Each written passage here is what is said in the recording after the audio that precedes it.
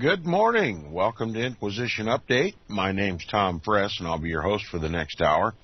Freedom of the press, freedom of conscience, freedom to worship God according to the dictates of our own conscience and the leading and teaching of the Holy Spirit and the written Word of God, and that we don't have to kowtow to a pope. And uh, expounding on all this glorious liberty that we have, if you still perceive that we have it, or had, if you perceive that we've lost it, in this Protestant constitutional republic. Protestantism that rose out of the realization that the papacy was the biblical and historical antichrist, that the Roman Catholic Church was the synagogue of Satan, and it was that instrument through which Lucifer, Satan, would attempt to fulfill his five point prophecy, his false prophecy that he would exalt his throne above the stars of God. Isaiah chapter 14, verses 12 through 14. Now, at the end of the program yesterday, we were continuing our discussion about this this uh, pastoral letter that Archbishop Manning, this Roman Catholic prelate, wrote expounding upon the infallibility of the Pope. First off, that the Roman Catholic Church is the one holy Roman Catholic and Apostolic Church. It is the one true church, says says Manning, the one true church of Jesus Christ. And the head of that church is the Pope. And all infallibility of the church dwells in the breast and is dispensed from the breast of the papacy.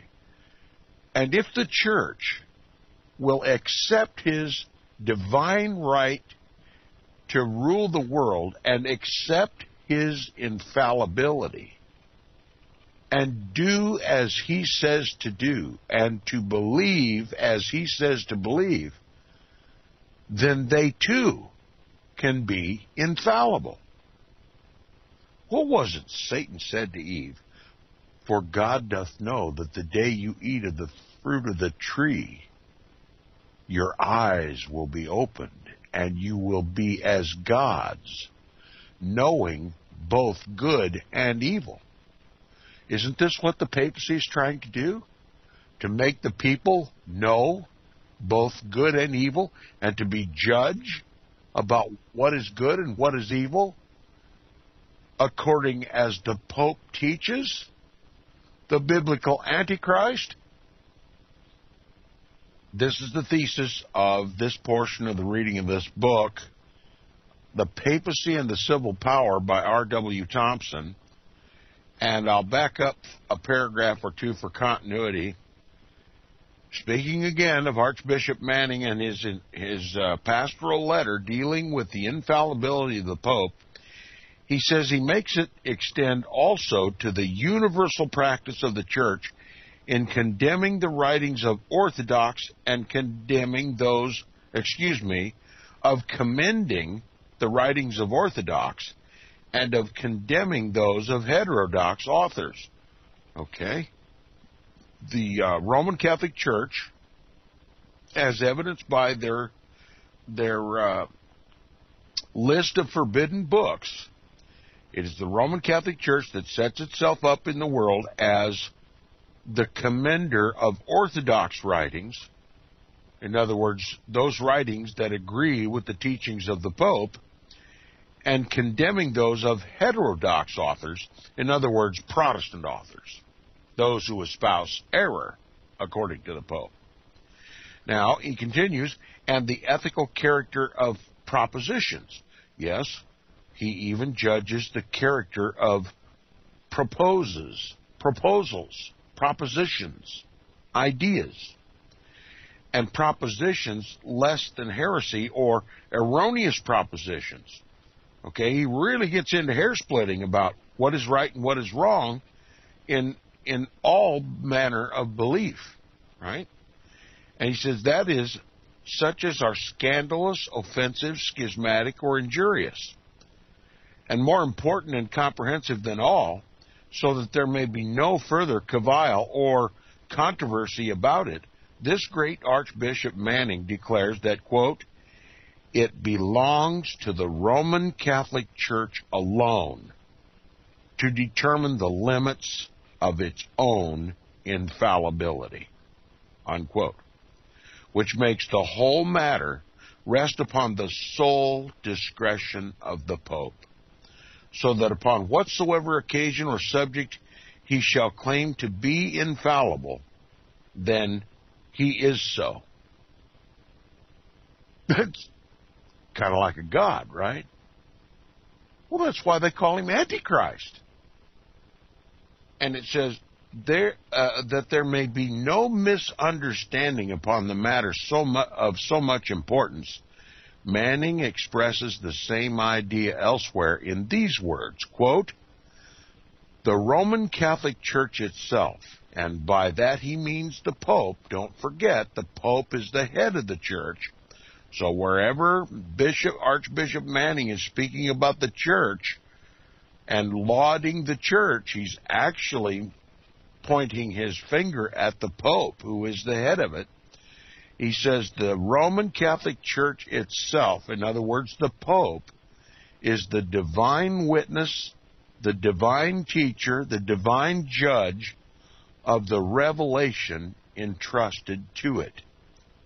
There exists no other. There is no tribunal to which appeal from the Roman Catholic Church can lie.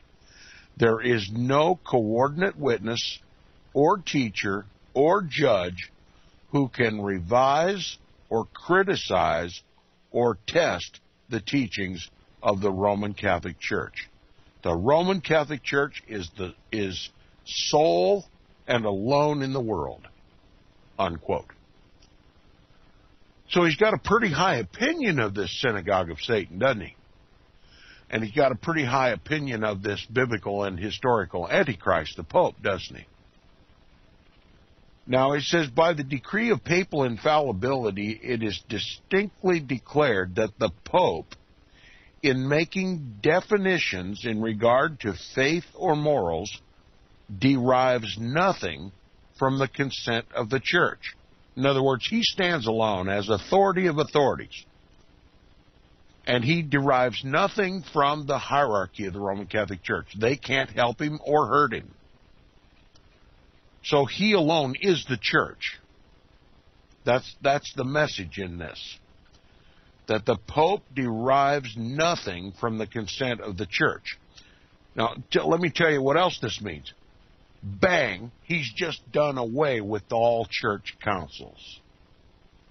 Because remember, the infallibility that has always been believed about the Roman Catholic Church was vested both in the councils and the popes together. The trouble with that was they always had this trouble kept cropping up that the councils didn't always agree with the popes, and the popes didn't always agree with the councils. Well, the Jesuits took care of that. They're not going to have any more internal schism. They're going to put all infallibility in the breast of the Pope and render the councils just like the cheerleaders for the Pope. They have to assent to everything he says and agree with everything he says and propound everything he says. And they're just his rooting section now. And now that the, all the power is of the Roman Catholic Church is now vested in the breast of one man, they don't have to control the hierarchy anymore.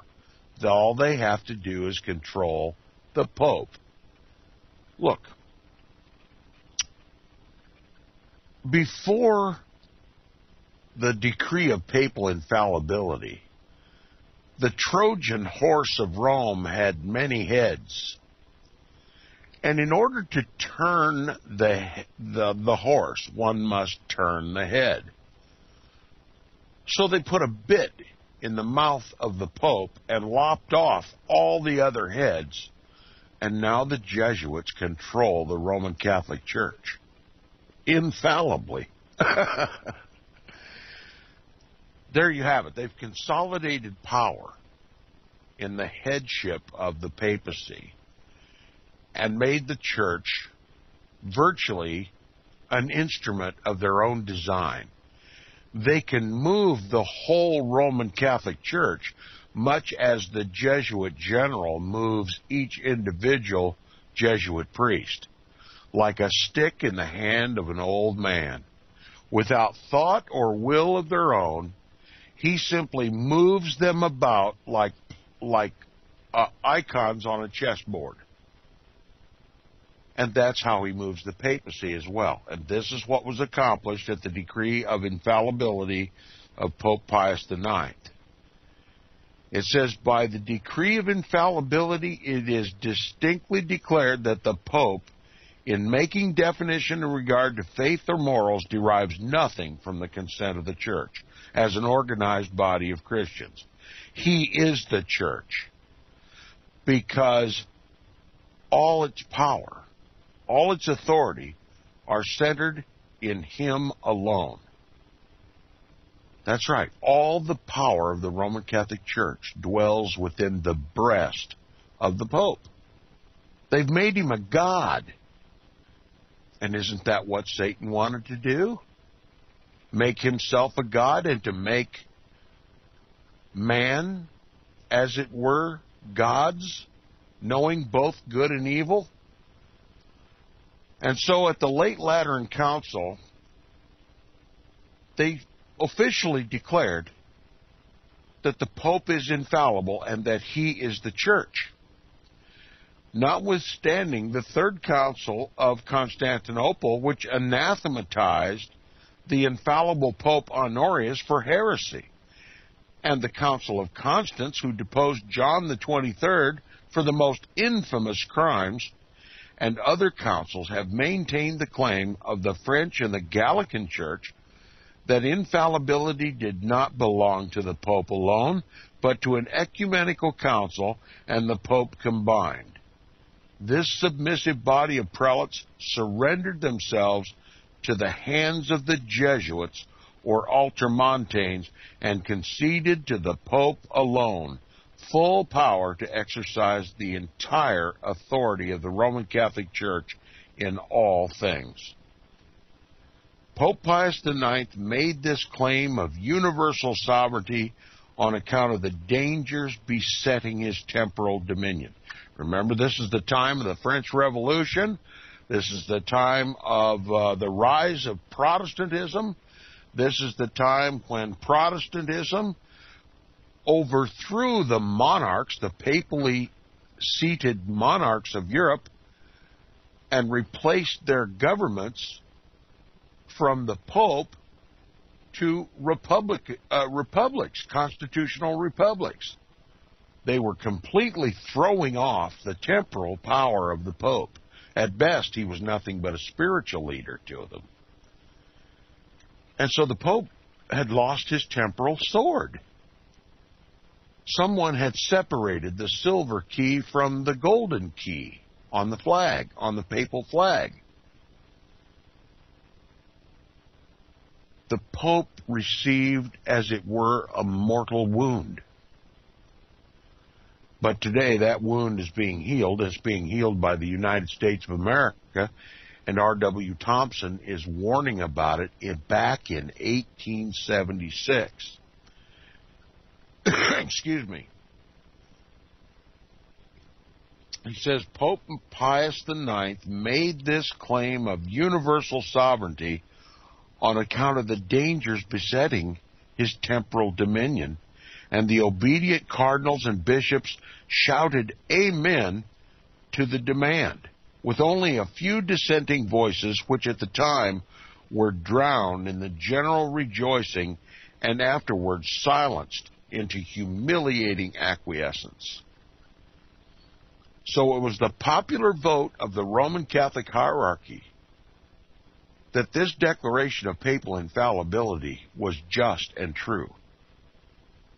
That he was literally the representative of Jesus Christ on the earth, and the councils were just his cheering section.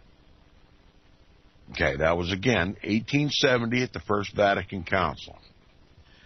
Now, in the encyclical, Pope Pius IX's encyclical of 1864, he condemned the, quote, audacity of those persons, unquote, who ventured to insist that they had the right to withhold their, quote, assent and obedience to his decrees when they did not touch dogmas of faith and morals, and declared that all such were entirely opposed to the Catholic dogma of the full power divinely given to the Roman pontiff, etc. That is to say, excuse me while I turn the page, that is to say, that although the Pope shall deem it his duty to issue a decree relating to matters other than those touching faith and morals, and command obedience to it, all the faithful must implicitly obey it. This was then a mere claim of authority, unsupported by the decree of any one of the many ecumenical councils which have been held in the past, and there was therefore and was therefore resisted by many thousands of honest Roman Catholics who thought they saw in it the establishment of the triumph of absolutism. That's right, there were some common sense Roman Catholics who resisted this idea that when extending his infallibility beyond the scope of the teachings of faith and morals, that is, in the temporal world, that is, his infallible authority over the kings of the earth and the governments of the earth, they had the good sense to realize that he'd gone too far. That this was really the erection of a global absolutism and that's the knowledge that we need today. Now, of course, Inquisition Update denies any infallibility of any man because the Bible says all have sinned and fallen short of the glory of God. Never mind the Pope. No man is infallible. All have sinned and fallen short of the glory of God.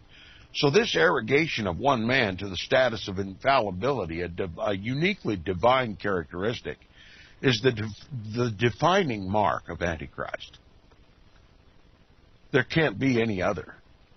This alone characterizes and identifies the papacy as the biblical and historical Antichrist. But there's much more evidence than just that.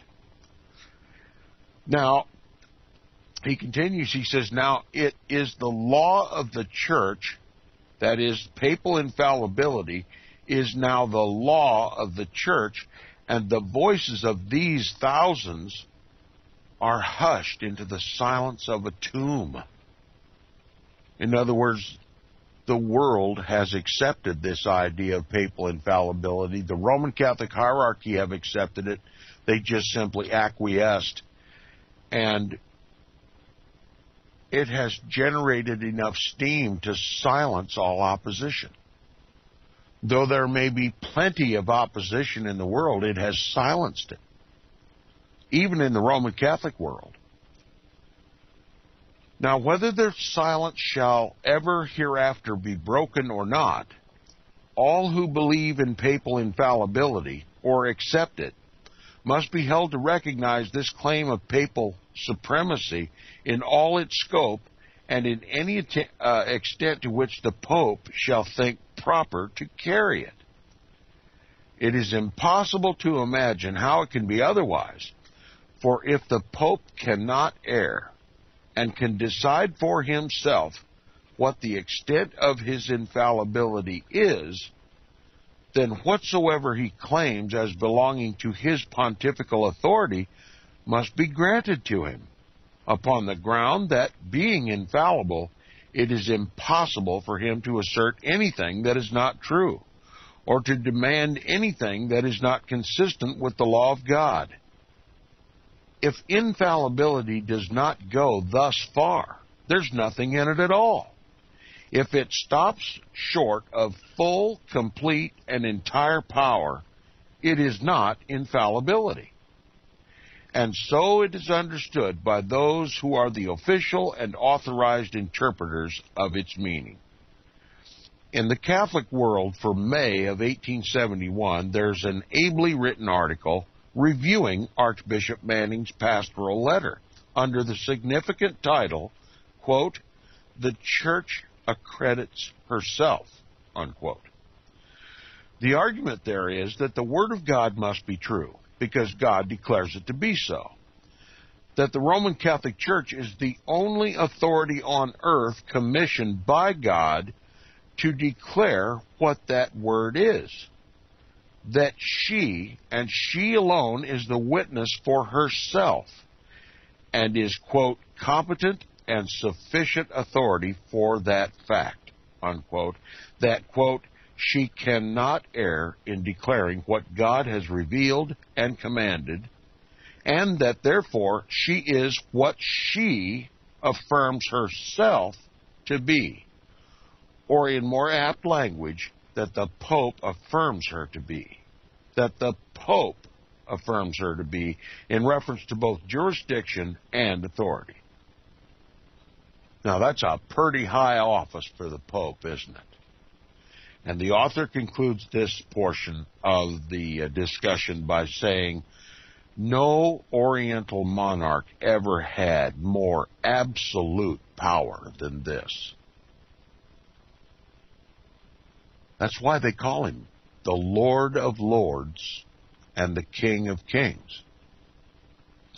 And this is exactly why Lord Acton said, it, he's speaking specifically about this First Vatican Council of 1870 when Pope Pius IX was declared infallible. When the papacy was declared infallible, Lord Acton responded, he said, Power corrupts, but absolute power corrupts absolutely. He had it right. He is as much called the papacy Antichrist. Now, many good and intelligent laymen of the Roman Catholic Church have been deluded into the belief that the Pope's infallibility is limited to questions of faith alone in the ordinary acceptance of that term. But this theory of Pope Pius IX and Archbishop Manning in the Catholic world explodes that idea entirely. It includes not only morals, but everything pertaining to the domain of morals everything, in fact, which the Pope himself shall declare to be embraced by it, within and without that domain of faith and morals. In other words, even the natural law, as we've discussed earlier in this book. Everything, every endeavor of man, every thought or idea eventually can be traced to the area of faith or morals. And the Pope is the divine right, infallible orator on faith and morals. Therefore, he is the divine right, infallible authority in all matters concerning mankind. Now that is raising one's throne above the stars of God, isn't it? That is making the Pope not only a priest, an infallible priest, but an infallible king. And that puts everyone, man, woman, and child, Catholic, Protestant, atheist, agnostic, whatever description, under the authority of the God in Rome. Returning to the book, immediately we have learned that Archbishop Manning is saying that you are wrong if you think the Pope's infallibility extends only over morals. No, it extends over everything pertaining to the domain of morals. Everything, in fact, which the Pope himself shall declare to be embraced by it within or without that domain. So papal infallibility extends over everything. And it says the church, that is the Roman Catholic Church, speaks alone through him, the Pope, having surrendered up every other mode of utterance. Consequently, if the Pope shall declare that any particular government or form of government, any constitution or law, is inconsistent with the divine law, prejudicial to the increase of faith, or to the growth or liberty of the Roman Catholic Church, the believer in infallibility is a is bound to regard the declaration as infallibly made as an essential part of the faith of the Roman Catholic Church and that belief and that belief in it is heresy and sinful in the sight of God. If you question the Pope, you are a heretic. You are inherently sinful in the sight of God. And it says Archbishop Manning makes this avowal substantially in these words, quote, First, that the infallibility of the church extends, as we have seen, directly to the whole matter of revealed truth, and indirectly to all truths which, though not revealed, are in such contact with revelation that the deposit of faith and morals cannot be guarded, expounded, and defended without an infallible discernment of such unrevealed truths. So the Pope is even over the domain of unrevealed truths. Not only the revealed truth, but the unrevealed. In other words, he can decide for himself what is truth. And he says, here, here it is asserted without equivocation that infallibility extends indirectly to all matters and all things which stand in the way of the progress of the Roman Catholic Church, no matter what their nature or character. The Roman Catholic Church must be guarded. Its faith must be expounded. And its, eh, and its supreme authority over all opposing secular power must be defended and maintained at every hazard. Whatever government or constitution or law shall impede the consummation of these ends must be resisted. Whatsoever the Pope shall direct to be done to secure their triumph must be done, because the Church accredits herself, and he is her infallible head standing in the place of God. Unquote. The Catholic world in the article referred to is somewhat more specific than Archbishop Manning in defining the indirect authority of the Pope in matters concerning morals. Seeming to foresee the ultimate point to which the doctrine of infallibility logically and necessarily leads, and not disposed to be behind others in defending it, the author of this article, with commendable frankness, says, quote, the principles of ethics, and therefore of politics, as a branch of ethics all lie in the theological order. And without theology, there is and can be no science of ethics or politics. And hence we see that both, with those who reject theology and purely are purely empirical and without any scientific basis. So now we're getting down to the brass tacks. His domain extends over politics. And that's first and foremost the concern of the Roman Catholic Church. Now, the author strategically gives us a note at this point, and we'll read it. The Catholic World of May of 1871, volume 13, page 155. Several well written articles have appeared in the New York Freeman's Journal wherein the author has treated of the future of Europe. One of them, when speaking of the establishment of theocracy in the 19th century, he says that theocracy, when properly understood, should be the end of every reasonable man. In other words, every reasonable man must conclude that the only good government is a theocratic government. Okay?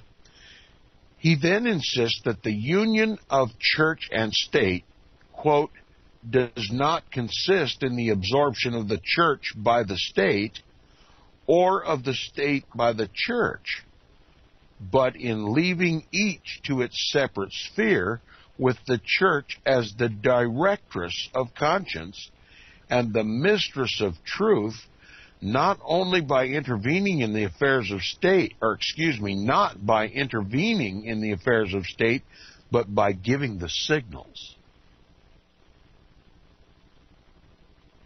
But by giving the signals. And it says to do this, he insists that she must have liberty and that the state must receive her warnings with respect. In other words, he says, the Roman Catholic Church does not directly enter into the governments of states, for such is not her mission, but indirectly, inasmuch as political questions are connected with morals. Such is her duty, for mistress of truth, guardian of morals, she, the Roman Catholic Church, is bound to condemn evil unquote. In his, in his view, all those who govern, that is, all in political office, should be the lieutenants of Jesus Christ. And as society can be saved from ruin in no other way, he thinks that the future belongs to the principles of the syllabus of Pope Pius IX. It says, in commending these articles to the reader of the Freeman Journal, the editor says, quote, this is the kind of reading that men in every condition of society ought to accustom themselves to and to love. There's not a Roman Catholic man in America that is so fully instructed that he will not find a pleasure in reading this exposition. Those less read ought to seek in such writings the basis of right political appreciations we heartily commend these papers in our journal to all our readers as sound and good reading. So the papacy is supremely and infallibly in control of politics. And it doesn't necessarily get right down into the nuts and bolts of governing. No, that's the state's job. The church just stands back and tells the state what to do by giving discernible signals to the state. And that's what takes place in Washington, D.C. Every Roman Catholic priest stands aloof as the divine orator, as the spokesman of the Pope, the divine right, infallible ruler of all kings, and the government watches for signs from those priests, and they do accordingly out of a religious conviction. That's how politics works in the United States of America. The priests dictating by signals and signs what the government should do, what laws it should pass, little by little overthrowing the rights of this constitutional republic and replacing them little by little with Roman Catholic canon law and tyranny. Now it says, here it is emphatically announced that ethics and politics, the latter as a branch of the former, in other words, politics is a branch of ethics, and everybody know ethics is the great purview of the Roman Catholic Church. And both are within the domain embraced by the Pope's infallibility and are both under the guidance and direction of the Pope because they both lie in the theological order. And because all governments not based upon theology are purely empirical. So all good government has to be based in theocracy. And the theocrat in the world is the Pope. Now, political affairs are reached indirectly inasmuch as they are not revealed, but being included in morals, which are revealed, a papal decree in reference to them is just as infallibly true and obligatory as if it were confined to revealed faith alone. Hence, if the Pope shall declare that any political opinions are wrong, unjust, or immoral in the sight of God, the declaration must be held by all obedient children of the Roman Catholic Church to be unerringly and indisputably true, and to save themselves from excommunication for heresy, they must make exterminating war upon all such opinions. Hence also, if he shall declare that any existing government is opposed to the welfare of the Roman Catholic Church and therefore to the law of God, the same result must follow exterminating war.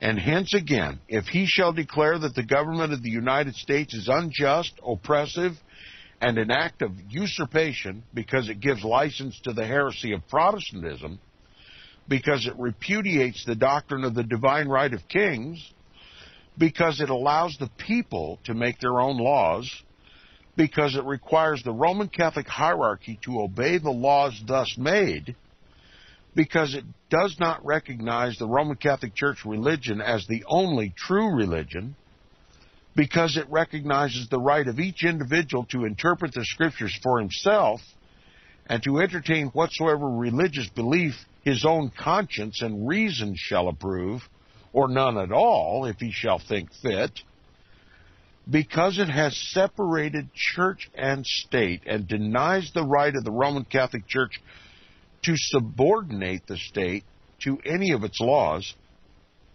because it not only tolerates but fosters and protects free thought, free speech, and a free press, and because it is on account of any and all of these in open violation of the divine law and therefore heretical, does not every man of common sense see that the papal followers must select between conformity to his opinions and excommunication?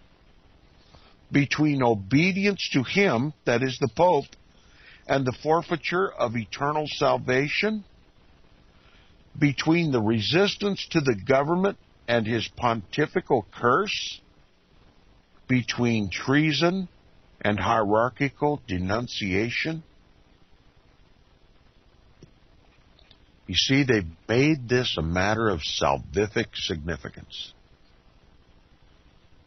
you either obey the Pope or you're damned. Every Roman Catholic, if he understands Pope Pius IX's encyclical and syllabus of error, if he understands the teaching of Archbishop Manning, if he understands the, the divine right rule of Pope and his infallibility, everything becomes a salvific issue. Now, Archbishop Manning reasons thus. He says, quote, the primacy is a personal privilege in Peter and his successors. In other words, the supremacy of the Pope cannot be shared. The, the Pope sits alone in his throne and he does not share his throne with anyone. His primacy is personal. It's all vested in his person. And therefore, the Roman Catholic pontiff needs the help and society of no other. And therefore, also, the doctrinal authority of the Pope is personal. Again, an emphasis on the person of the Pope. He stands alone, high above the earth, high above every human institution and needs no support from anybody. And this conclusion he reaches, and the conclusion he reaches is that in order to the proper exercise of infallibility, it is the duty of the Pope to bring the whole world into, quote, unity with the Catholic faith, unquote. Now, do you know what the ecumenical movement's all about? Vatican Council II was just nothing but an attempt to bring all of Christianity into unity with the biblical and historical Antichrist. Again, he says the conclusion he reaches is that in order for the proper exercise of papal infallibility, it is the duty of the Pope to bring the whole world into unity with the Catholic faith, employing, of course, in the faithful discharge of his duty whatsoever means he may deem necessary to that end. Vatican Council II was deemed necessary to that end. Upon this question, he is explicit. He quotes with approbation from the doctrines maintained by Bellarmine the following propositions laid down by that author. Quote, Unity with the Roman Catholic faith is absolutely necessary, and therefore the prerogatives of absolute infallibility is to be ascribed to it. Now listen to this. And a coercive power to constrain to unity and faith in like manner is absolute. And also, the infallibility and coercive power of the Roman Catholic Church itself, which is bound to adhere to the faith, are absolute. There's an absolute right being declared right here that the Pope can use force to bring the world into unity with the papacy. And this coercive force has been ex- exercised all throughout history. It is the most glaring component of world history. It explains all the wars of the world, including our own. Now, Bellarmine, it'll be observed, placed this coercive power, which is simply the power to employ force, in the church as pertaining to its plan of organization. Pope Pius IX does the same thing in the syllabus of error. But as according to the decree of infallibility, the, the Pope absorbs in himself alone all the authority of the church as a personal privilege. Archbishop Manning reconciles the apparent difficulty by declaring that this infallibility and coercive power are to be ascribed to him, that is, the Pope, and are personal. Unquote. That coercive power was exercised by the Inquisition. And Archbishop Manning has simply admitted that it was a personal offense exercised by the Pope. All that responsibility for the Inquisition resides in the papacy. He says, hence we have this logical and inevitable result that when the Pope alone, without any aid from councils, cardinals, or bishops, shall decree that a resort to force is necessary to secure unity with the Catholic faith, or to get rid of anything or any government, constitution, or law which prevents or retards that unity, he acts infallibly in the place of God, and all the faithful are bound to obedience. In the language of the Catholic world, to unquestioning submission and obedience of the intellect and will. So if the Pope proclaims another Inquisition, and this time within the shores of Protestant America, every Roman Catholic must respond and start killing the heretics. This is the coercive force of the Roman Catholic Church. It's been exercised all throughout history. It continues today, despite the denial of those who simply choose not to believe it, when in fact history leaves no room for doubt. Now, it is only by rendering this obedience that the body of the Roman Catholic Church becomes as infallible as the head. For it seems to be possessed of such diffusive qualities that it may be made to per- permeate the entire membership Both are infallible. That is, the head and body, says Archbishop Manning, the one actively in teaching, the other personally in believing. Now, does it make sense to you why Satan said to Eve, For God doth know that the day that you eat of the fruit of this tree, your eyes will be opened, and you will know both good and evil. You will be as gods, knowing both good and evil. You will be able to judge what is good and what is evil. And the Roman Catholic Church says the Pope is the only one who can infallibly judge between good and evil.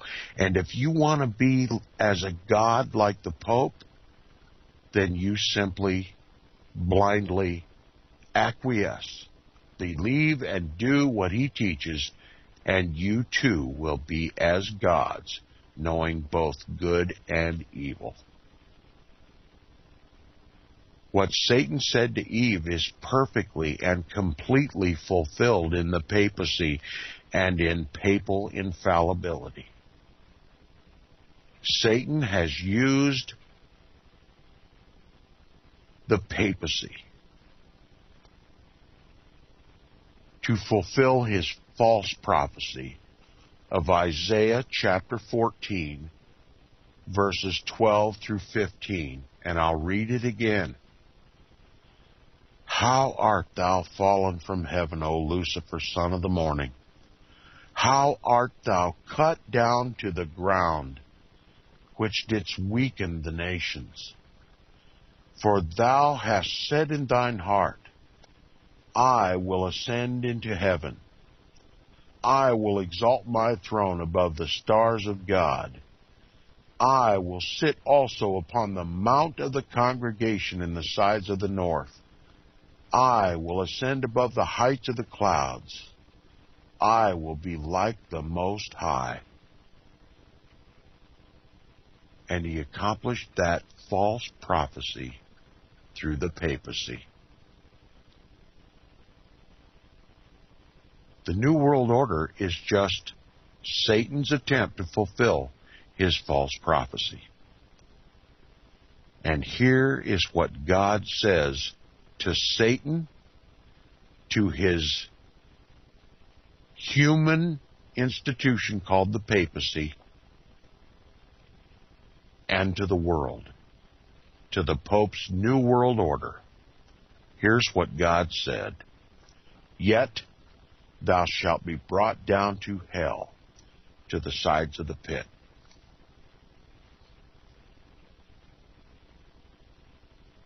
At some point, God is going to bring a short end to this new world order. And he himself is going to prove Satan to be a false prophet. Now, this author says if you want to be infallible like the Pope, you just believe and do whatever he says. Both are infallible. That is, the head and the body, says Archbishop Manning, the one actively in teaching, that is the Pope, and the other personally in believing, that is every Roman Catholic, whether he claims to be Protestant or not. He gives the reasons because its head can never err, it as the body can never err. If the Pope cannot err, his people cannot err. And because the Pope cannot exercise an infallible office fallibly, therefore he cannot err in the selection of the means of its exercise, no matter what those means may be, whether peaceful or coercive. That's right. They will kill you in the name of God, thinking they are doing God's service because the jihad or the crusade against the Bible believers of this world was declared by an infallible pope. And every Roman Catholic who wants to share in that infallibility will draw your blood thinking he is doing God's service. That's what's coming to Protestant America. Thanks for listening this week. We'll continue next week on the Inquisition Update.